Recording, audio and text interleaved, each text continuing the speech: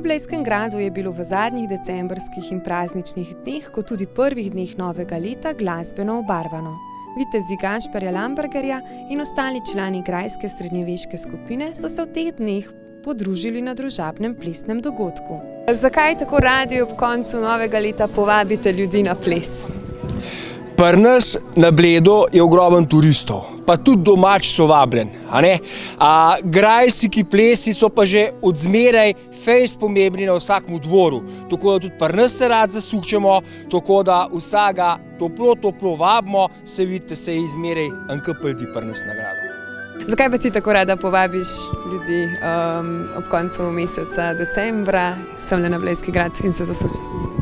Ja, zato, ker ples je in je že od nekdaj bil državni dogodek in konec leta, sploh zdaj, ko so prazniki, je čas, da se podružimo z ljudmi, ki, so, ki nam nekaj pomenijo.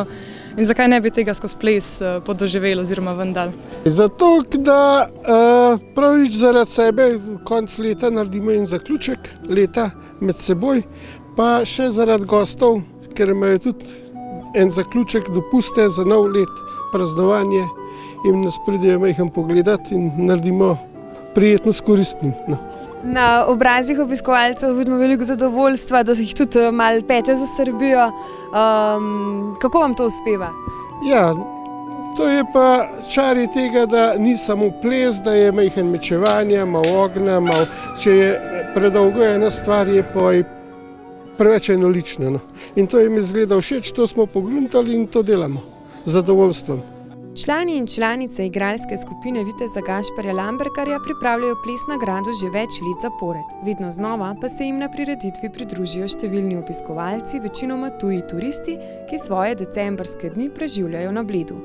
S svojim programom člani zasedbe bogatijo dogajanje na Bledu in nas popeljajo v preteklost. How did you like the show? Ah, eh, mi è piaciuto tanto, è stato bello, un po' freddo però è stato bello. Ok, e nell'ambiente? Ah, è bello, è incantevole. Fun and really colourful and really, I really enjoyed it. It was lovely, very Christmassy and special. Lovely. I like it because I love medieval styles, so I like, yeah. Grajski plesi iz različnih obdobij, ples z zastavami in spretno mečevanje, vse to in še več so pripravili za popestritev prazničnih dni.